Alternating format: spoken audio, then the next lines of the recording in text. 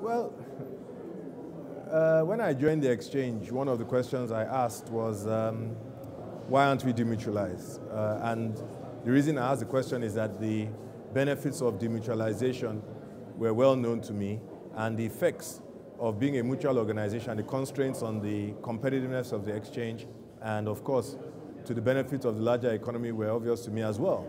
And I was told that, look, we've tried it and we've thought about it, but maybe the time was not right. Uh, and um, so I made demutualization the crux of my presidency. And indeed, it was actually um, uh, during uh, the tenure of our council that we um, convinced the members, uh, I think it was March 30th, 2017, actually to demutualize. That's when it was approved. Um, and so you see, it's a very, very arduous journey.